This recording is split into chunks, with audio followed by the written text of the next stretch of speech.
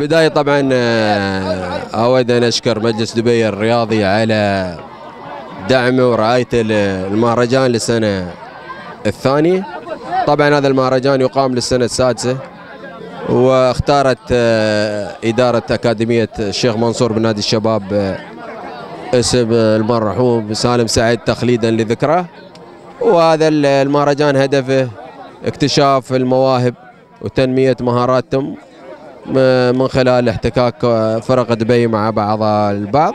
ولله الحمد السنة السادسة المهرجان في تطور بدعم ومشاركة الأندية دبي.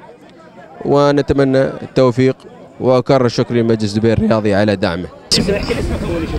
بسم الله الرحمن الرحيم.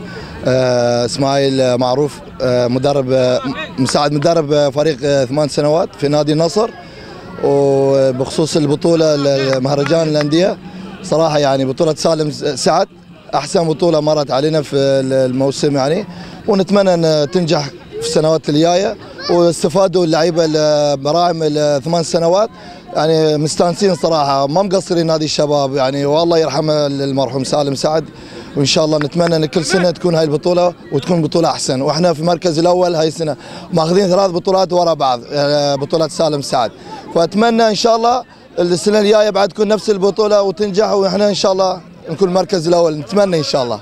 وأشكر آه، شركة آه، نادي أكاديمية نادي الشباب تنظيمهم للبطولة.